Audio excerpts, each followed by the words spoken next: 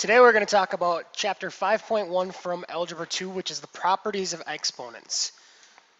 So first thing we should look at is the actual table that tells you your different properties. You have your product, product of powers, power of power, you have power of a product, negative exponent, zero exponent, quotient of powers, and power of a quotient. Now this table is in your guys' book, so you don't have to write it down right here. If you guys want to pause it and do it, go ahead. I'm going to go over some examples. I'm not even going to look at this, this page right here.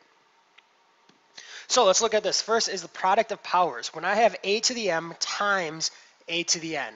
So I'm multiplying those things with my base is the same. Notice my base is the same. It's a and a. What we're going to do is all we're going to do is we're going to add the exponents. So when I have b to the fourth times b to the sixth times b to the seventh, really this is the same thing as b to the negative fourth plus 6 plus 7. All you do is you add those exponents. So negative 4 plus 6 is 2 plus 7 is 9. So it becomes simplified to b to the ninth. Now let's look at this next problem where we have multiplied 2m times 4m cubed. So first thing we're going to do is we can multiply those numbers times each other. So we can take the 4 and the 2 and multiply those to become m, or sorry, 8.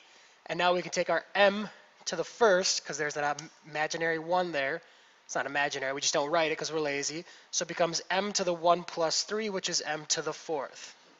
So it's 8m to the fourth. That is your product of powers. Now, power to a power, what you actually do is when I have a to the m to the nth, so I have a power raised to a power, I'm going to multiply them.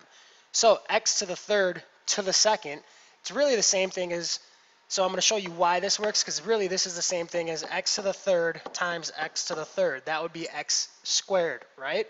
Because squared means you multiply it times itself. So then you go back to your product of a power and you add those so it becomes x to the 3 plus 3 which is the same thing as x to the 6th. Well over here with the power of a product what you do is you multiply 3 times 2 so it really becomes x to the 6th. So this over here is why it works.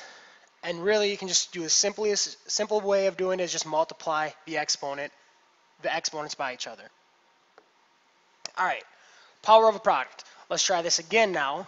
What you have to make sure is when I have 2x cubed, and again I'm going to show you why this works, it's really 2x times 2x times 2x. But really fast, easy way we can do this is put that 3 through to each piece. So this is really 2 to the third times x to the third. Now the biggest mistake folks are going to make with this one is they're not going to either, they're either not going to put the 3 with the 2, so they'll make it 2x. So here, let's write this. Wrong answers. Wrong answers folks will do is, the first one is they'll do 2x to the third. The second thing they'll do is they'll do 2 times 3, so they'll make this 6x to the third. Those are really going to be your two biggest mistakes that, I, that you'll see.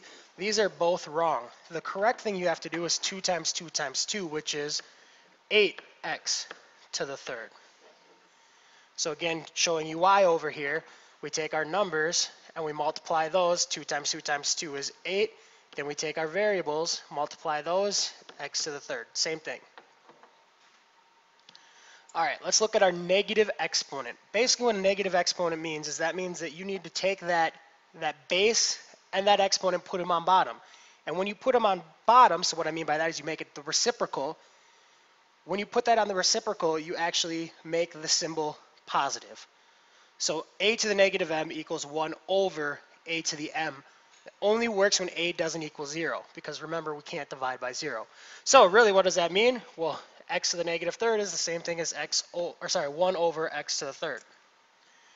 2 over y to the negative second, well this is the negative second, so that means we need to do the reciprocal, which really all that means is we're going to take that and put it on top.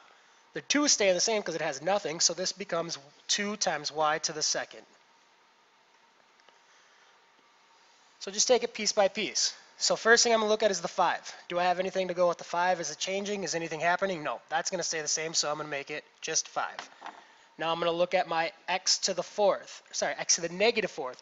Since it's a negative negative fourth, I know I need to put that down on the bottom and make it a positive power. Then I'm going to look at my y's. I have nothing there to change, so it's just going to become y. And last but not least, I'm going to look at my x, or sorry, my z. Nothing changes there, so that stays on the bottom. So my actual way I would write this, just in one fluent way, 5y over x to the fourth z. In one color there for you. All right, let's keep going, showing some more examples. Now, anything raised to the power of zero equals one. That doesn't hold true for zero, but we won't talk about that in this video. You can go ahead and research it online if you'd like to, but anything else raised to the power of zero is going to equal one. So if you look at this, this expression here, you guys can look see 100,000 x cubed times y to the 345th times z to the smiley face. All of that raised to the power of zero. Well, what's smiley face? Who cares? It's going to equal 1. Plain and simple. Anything except for 0 raised to the power of 0 is going to equal 1.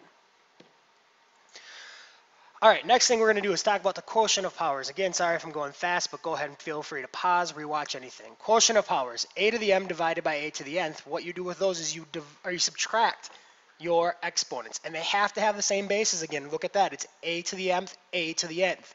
It only works with similar bases. So let's look at z to the third over z. Well, there's nothing there, but really it's z to the first. So z to the third over z to the, to the first is really that becomes z to the 3 minus 1. So my actual answer is z squared. Now one way to look at it is you can look and see, okay, which one's the higher number? Is the higher exponent on top or the higher exponent on bottom? And that way you should know where it's going to end up. So I have two ways of doing this with this problem. I could do it the same way I did it. So z to the first minus 3 well, that equals z to the negative second, and really that is going to equal z, sorry, 1 over z squared. Or I could look and I could see, okay, I know that I have a larger number on bottom here, sorry, a larger exponent on bottom. So I know that my numbers are going to end up on the bottom, and then subtract 3 minus 1, so really I end up with 1 over z cubed. That way in the green there might be a little bit tricky at first, but once you get that down, you're going to want to know how to do that because when you get trickier problems, that's going to make life easier for you.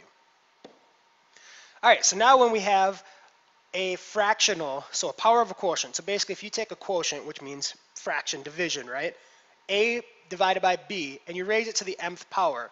Really what you can do is you can distribute that m through to both pieces. And let's show why before I actually do that over here because really 2 thirds squared means I'm doing 2 thirds times 2 thirds, which you know when we multiply, we multiply across, so 2 times 2 is 2 squared over 3 times 3 is 3 squared. And notice all we have to do is know our rule up here, the power of a quotient, that squared goes through to both pieces, which means that we simplify this to 4 ninths, and there's our answer.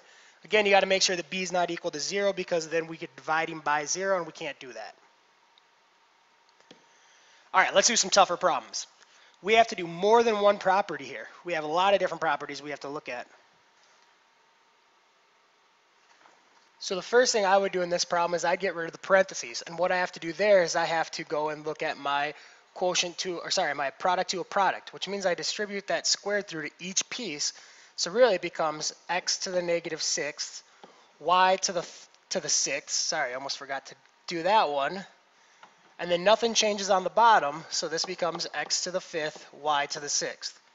Now I'm going to look at it piece by piece, variable by variable. I have x to the negative sixth over x to the fifth. Well, that means that I need to take that down, so really this becomes x to the negative 6 minus 5 because it's a quotient, right? So it really becomes x to the negative 11th, which means it becomes 1 over x to the 11th.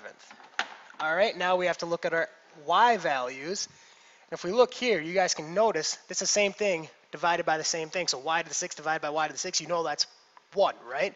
Or you could take this and you could do the same thing we did over here, the quotient rule. y to the 6 minus 6 equals, whoop, well 6 minus 6 equals 0. So this becomes y to the 0th and we know that that becomes 1. So really, what do we have? Well, we have 1 over x to the 11th times 1. So really, our actual answer is 1 over x to the 11th. So really, all you need to do in that scenario is take it piece by piece. Slow down. It's not too difficult. It's just making sure you remember all the rules. Let's try another one here where it's a little bit more difficult. So now this one, what we're going to have to do is we're going to have to expand out. So multiply piece by piece. The 7 doesn't have anything.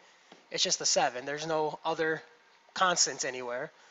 Now we're going to multiply our y times, sorry, coefficients, not constants. y times our y. So we have y to the second times y to the to the negative fourth. Remember, when we multiply, we really add those. So y to the 2 plus negative 4.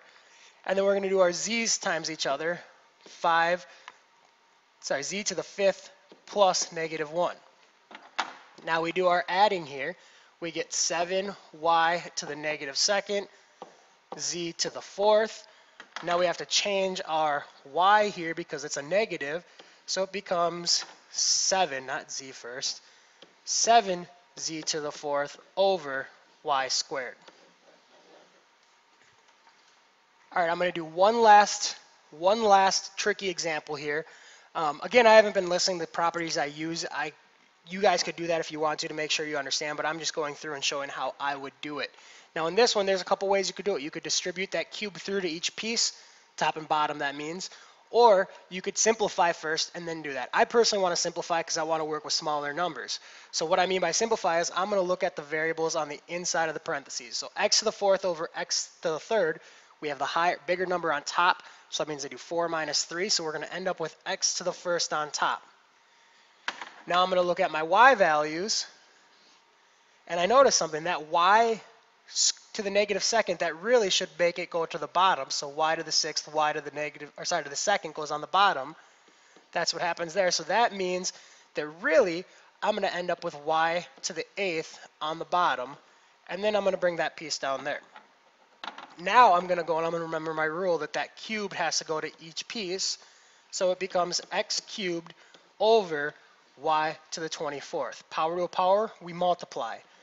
So there's my fully simplified version. You could do it a different way. That's the way I chose to do it. That's all I'm going to do for this video, so make sure you guys let me know if you have questions, rewatch the video if you guys need to, and pause where you need to.